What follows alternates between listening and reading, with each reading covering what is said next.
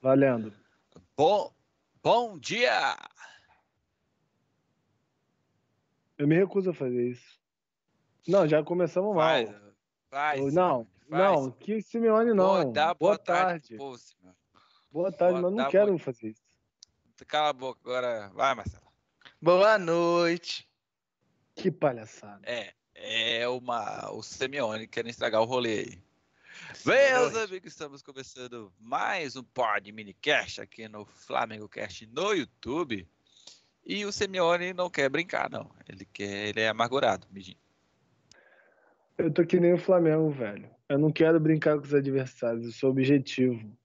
Eu levo a Nossa. sério o campeonato. Eu não sei se o que que é mais triste, se é o Simeone achar que a gente é adversário dele em algum, em, em algum âmbito da, da sua vida, ou ele querer se comparar a um time que não perde a 18 a 19 jogos. O que que é mais lamentável? É. Comente aí embaixo. Exatamente. Bom, meus amigos, estamos aqui hoje para falar sobre alguns, vários assuntos. Né? Tivemos aí o nosso último jogo, né? Flamengo venceu o CSA por um golzinho apenas para Camargo. Depois, um jogo de ressaca, né? Depois daquela vitória massacrante sobre o Grêmio por 5 a 0 Eu, deixa eu perguntar uma coisa antes da gente continuar. Só eu que chorei naquele 5x0 ou vocês também tiveram um pouquinho de emoção acima Não. da. Não, choro? Eu não chorei porque eu estava em êxtase. Eu chorei porque eu não acreditei no que os meus olhos estavam vendo. Ah, eu eu precisei- Eu do- precisei, eu precisei lubrificar os meus olhos pra poder acreditar. Mas eu chorei de emoção, cara. Eu chorei no 4x0. Mas admito O- que talvez, não- talvez não seja, não seja nem pelo placar, pode ser que seja só pela beleza do Mari. Há essa possibilidade. Realmente aí tem um motivo que faz a gente chorar. É, e ele fez o quarto Vai. gol, então realmente pode ser um bom motivo. Pode ter sido isso aí, mas que eu chorei, eu chorei. Aí Eu não- eu admito que eu não consegui assistir o segundo tempo, porque não dava, cara. Depois de. Ah, do então foi graças a gol, você. Foi loucura. Eu não dava, não tinha pausa. A gente não conseguia respirar e já era outro gol. Aí eu deixei só no modo automático comemoração, entendeu? E aí Hum. foi até o final. Mas, é, vamos, então, já que a gente entrou no assunto do Flamengo e Grêmio, ah, deixa eu perguntar pra vocês, vocês acharam que foi o 7x1? Vocês acharam 7x1? Achei- me achei vingado do 7x1. Uhum. Eu pergunto porque eu vi algumas análises de pessoas falando, comparando com 7x1, e tem algumas que- coisas que parecem com 7x1, tipo, ah, se você pegar os dois jogos, por exemplo, não foi um- uma dominância absurda o jogo inteiro, ah, tipo assim, fazendo gol o jogo todo, né? O, a Alemanha meteu quatro gols em, em 7 minutos, né? Foi dos 19 aos 26 ali, né? E o Flamengo foi mais ou menos isso, acho que foi quatro gols em. o que foram o quê? 20 minutos? que o Flamengo fez quatro gols. Então, nesse sentido, foi, foi bem parecido, cara. Bem parecido. Ah, Apagão do hum. Grêmio também, né? Assim como o apagão da seleção, né? o, o Grêmio não conseguia se achar em campo, tava totalmente perdido. E aí, credo, né, velho? Porque no primeiro gol é, já jogou um balde de água fria no Grêmio, né? Que já mandou, obrigou o Grêmio a sair. Que tava, o Grêmio tava até conseguindo fazer. impe- Tava até conseguindo impedir o Flamengo de jogar. Mas depois aí o segundo gol. E aí do segundo já foi o terceiro, que foi no pênalti, e aí diante os caras simplesmente estavam incrédulos, né? É. Eu tenho a- sérias, Há sérias boatos, né? discordâncias quanto a isso. Há boatos de que os jogadores do Grêmio pediram pro Flamengo tirar o pé, hein? Só isso que eu Tirar o digo. pé. Tira o pé aí, pelo amor É. de Deus. Pelo amor de Deus. Pelo amor de Deus. É, mas já foi esclarecido Amor- já. Pelo amor de aspas. Jesus. Pelo Olha amor de só. Jesus, perfeito. Olha só que comentarista brincante, menino Gonzaga. Não, pode ser realmente.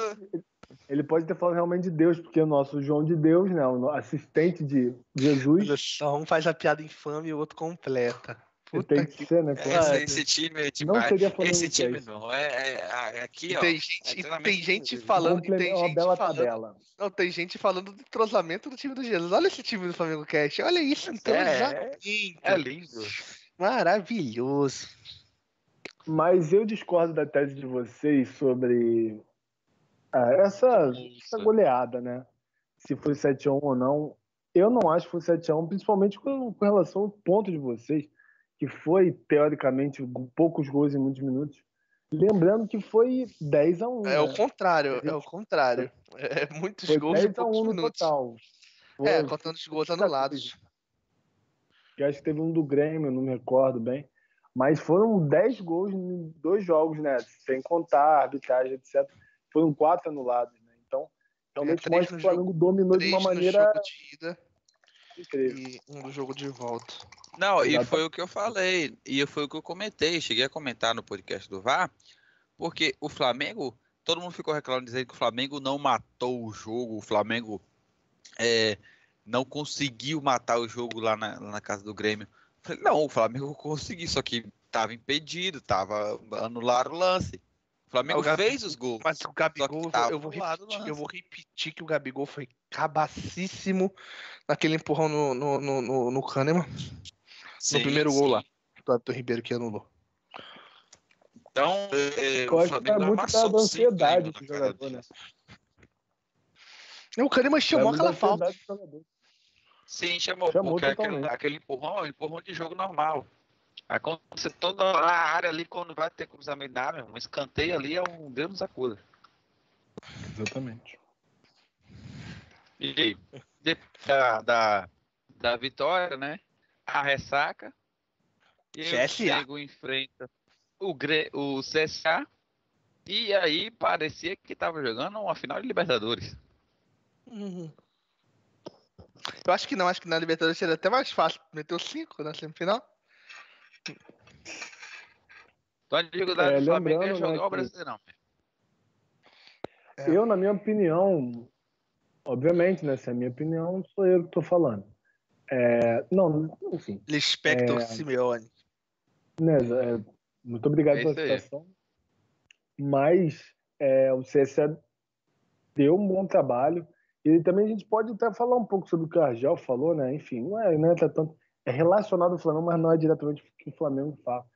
Da desvalorização do- dos, enfim, dos treinadores brasileiros. O Argel foi um dos clubes que conseguiu parar esse time do Flamengo. Vamos ser bem honestos. Marcou muito bem o time do CSA, um time que é limitado, e saiu bem para o jogo. Se não fosse o Diego Alves, enfim, ele fez umas quatro, cinco defesas difíceis. É, teve uma bola na trave do Darlan, enfim. É, o que, que vocês acham desse. Se realmente o Argel Fux, logo o Argel Fux, né? Já foi tanto, tanto criticado aí por, por todos os torcedores no Brasil. Eu não Igual acho o Argel legal, cara. Eu acho o Argel, sem dúvida nenhuma, o treinador com o nome mais maneiro do Campeonato Brasileiro. Ah, Nossa, o Argel fodas. Fux! O Argel É um fodas. belíssimo nome, exatamente. Eu- Mas é um treinador que é bastante contestado. E, cara, eu achei que realmente ele mandou muito bem na formação, né? Em geral, né? O equilíbrio da equipe. Realmente tem uma proposta de jogo reativa e deu muito certo, né? Enfim, Uhum. em alguma medida, né? Enfim, o Flamengo Eu é muito achei- então conseguiu ganhar. Mas, Eu achei uma vitória maiúscula. Eu achei uma vitória maiúscula. As pessoas pensaram, ah, mas é o, é o CSA em casa e tal. Eu achei uma vitória maiúscula, porque o que diferencia o Flamengo nesse, nesse campeonato em relação aos campeonatos anteriores, cara, é esses pontos bobos, que um, é, um, ah, é um jogo em casa fácil que o Flamengo não, não, consegue. Ano passado, por exemplo, perdeu em casa pro Ceará. Que o Ceará ainda acha até que seja um time um pouco. Louco. ainda acho, ainda, ainda acho um time até mais forte é, comparando com esse time Uhum. do CSA. Mas ainda assim é um ponto que você não pode deixar, deixar de conquistar em casa, sabe? E o Flamengo, mesmo jogando mal, mesmo na ressaca, ah, garantiu os três pontos em casa. Ah, Pois é, é aquela coisa, né? Time campeão ganhando quando joga bem, ganhando quando não joga bem também. isso, exatamente. Deixa eu só pegar um dado importante aqui. Pode falar enquanto eu procuro aqui. é uma pergunta também, outra pergunta que realmente agora é relacionada ao Flamengo, que muito se debateu, né? Durante a semana, enfim, durante a semana não, né? Logo após o jogo, né? Na segunda, estamos gravando aqui na terça, deve sair na quarta, né? Ou agora mesmo, não sei se tá ouvindo. Enfim, a gente já tá mandando ao mesmo tempo, a gente é muito louco. em relação a isso. Que entrosamento pontos- aqui é, é algo. É, é o que não deixa a desejar Coisa aqui. linda. Coisa Se o, linda. plane... Se o planejamento deixa, deixa a desejar o entrosamento, jamais. Muito obrigado. É, Furiati tinha aqui reunido. Mas, voltando ao tópico, que eu- a gente está divagando demais. É, parando devagar, eu deixo a pergunta para vocês: o que, vocês acham desse Flamengo que não descansa, né? Segundo Jesus, é, vai pro jogo, descansa só no. Enfim, quando não tá jogando, descansa. Quando tá jogando, amigo, bota o titular duas vezes na semana jogo e é isso. É, mas só que cansou, né? Ficou claro que o time estava bem pesado, com a perna pesada. O que, que vocês acham dessa questão? Se o Flamengo realmente estava, na minha opinião, estava cansado, mas para vocês se estava cansado e se essa questão do de, de, enfim, jogar todos os jogos disponíveis, né, a maioria dos titulares, é algo que pode pesar mais para frente, até no brasileiro mesmo. Eu acho que tem jogadores que precisam ser poupados. E não é poupar para preservar para um jogo mais importante um jogo menos importante, é poupar pela parte física. Uh, esse time visivelmente está cansado, e se jogar o próximo jogo vai jogar cansado, se jogar o outro vai jogar ainda mais cansado. Isso pode prejudicar principalmente para o jogo contra o River se o time for acumulando esse cansaço. Eu acho que por essa questão deveria poupar. Eu, eu sou totalmente contra você poupar o time inteiro, mas eu acho que o Jesus poderia fazer aquilo que ele vinha fazendo de poupar dois ou três jogadores uh, intercalando, né, cara? Se ele ficar todo jogo indo com o time titular, titular, time titular, esse time vai chegar cansado contra o River. Uh, não sei o que o Gonzaga pensa. Não, eu penso igual, é, mas é, esse jogo, o próximo jogo é quinta-feira. Eu acho que aí vai ter mais um dia para recuperar né, a parte física aí. É, mas creio que eu acho que o Jesus vai ter uma ser mais consciente em relação a isso aí. E deve a, o departamento físico também, né? Deve também uhum. até dar um alerta para ele, né? Somente alguns jogadores importantes, como o Jéssica, um jogador que se desgasta muito. Gerson, Gerson, é o Bruno eu, eu, eu, acho que talvez o Gerson seja o jogador que mais a gente consegue perceber que ele tá cansado. E não é de hoje. Mas creio, então... que, creio que o próprio departamento vai alertar isso e como esse jogo é quinta-feira, vai ter uma folguinha aí, né? Digamos assim, uma folguinha assim na questão de treinamento, preparo, tudo mais, todas essas questões acabam uhum. influenciando. E, e provavelmente se, se, ele continuar fazendo o que fez, né, no, nos últimos jogos, de você substituir um ou dois os jogadores para dar o descanso, o Pablo já foi, né, já não jogou esse jogo, então aí já vai poder descansar. Olha e aí você fazendo essa versão cara, até olha lá. a intimidade até lá, Pablo, Pablito, Pablito, Pablito. Uhum. É, eu preciso passar um dado aqui, aproveitar que o Gonzaga deu a deixa aí de falar do jogo de quinta. Uh, o Flamengo, eu não sei se. Eu peço até desculpa pro Gonzaga se ele tiver passado essas informações no pontuando. Mas o Flamengo, nesse momento, é o líder do, do segundo turno, né? Ele já foi campeão do primeiro. O Flamengo é líder do segundo turno, ele tem 25 pontos, de 27, ou seja, ele só empatou com o São Paulo.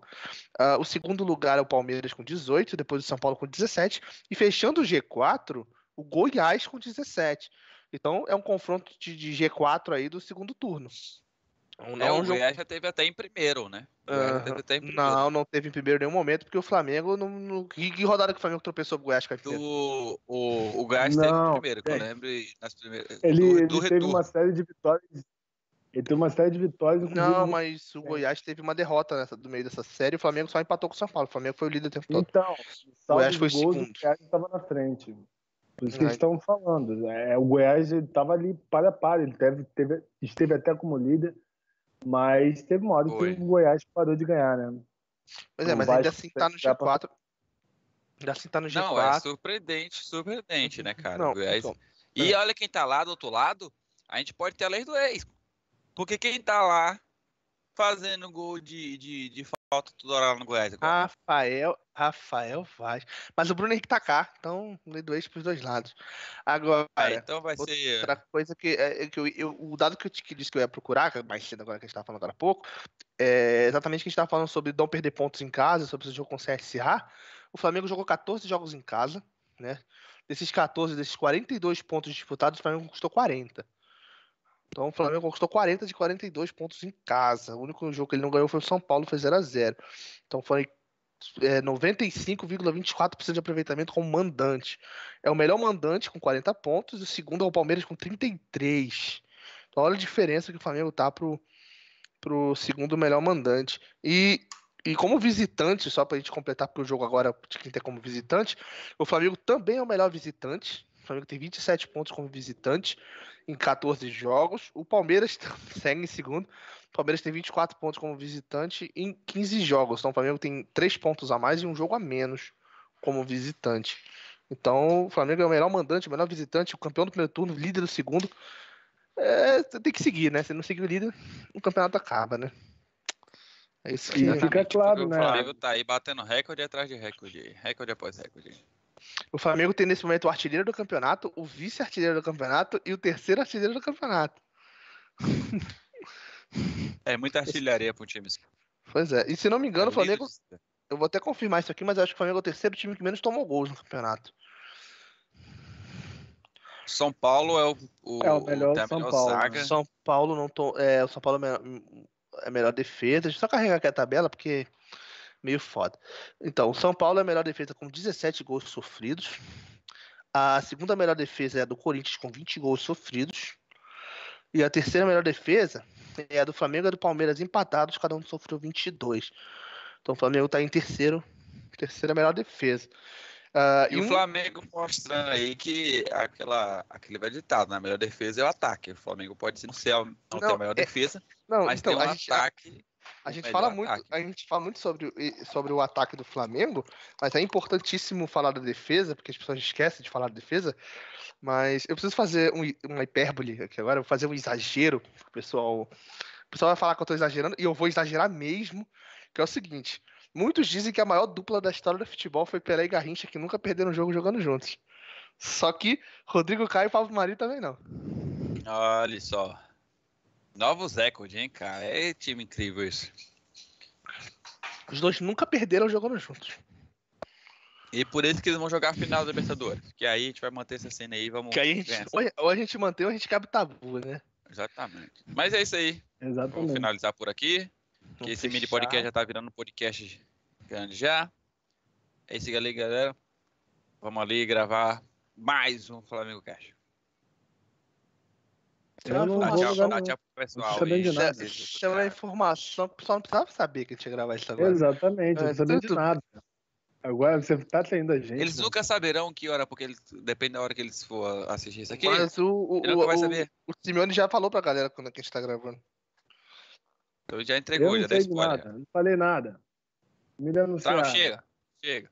Vamos, vamos, vamos. Mas é isso aí. É, muito obrigado a todos que ouviram. Não esqueça de deixar o likezinho. Se você ficou até o final, pô, muito obrigado. Uhum. E se você. E uma, é uma, eu tenho mais uma informação importante que a gente esqueceu de passar, hein? Fala aí que depois eu passo. Você me interrompeu. Agora eu tô ter... curioso com a informação. Não, a informação você já sabe a informação. Não, eu quero saber. Ao, ao vivo aqui, eu quero saber. Assim como os nossos ouvintes que estão até agora. A informação é que eu tô namorando, tá? Eu quero mandar um beijo pro meu namorado. É isso. Beijo. Momento aí, salto um aí, Gonzaga, você tem algum. Tem, algum tem um recado aqui, Rogerinho. Manda um recado para um... Sara Fonte, Gonzaga. Mandar um meu beijo pra minha gatinha, Sara. Tá ali. Eu vou dar um beijo pro Cauã. Na moral, velho, esse programa tá uma várzea. E, e você? aqui. E você? Se você não dá, você, meu, se você não mandar, sua namorada vai ficar brava com você. Isso acontece. Eu não tô me importando com a cara, sacanagem. Brincadeira, cara. Opa! Opa! Sei, chega, vamos, vamos. Acho que eu vou tomar. Calma! Tá com pressa? Eu não. Deixa eu falar com o povo quer, quer, quer, quer, quer, assistir outro vídeo aí, rapaz? Deixa o povo assistir. Não, vou deixar, não. Deixa o like. Só, só se deixar o like, se inscrever, compartilhar com os amigos comentar aí embaixo, enfim, qualquer coisa que você quer comentar. E é nóis, é só isso mesmo. Gonzalo, você tá com pressa? Manda um abraço para a namorada de vocês aí no comentário. Isso aí. É, manda e, e compartilha o vídeo com elas. Isso é, aí, beijo pro Cal. Falou, valeu, acabou o programa.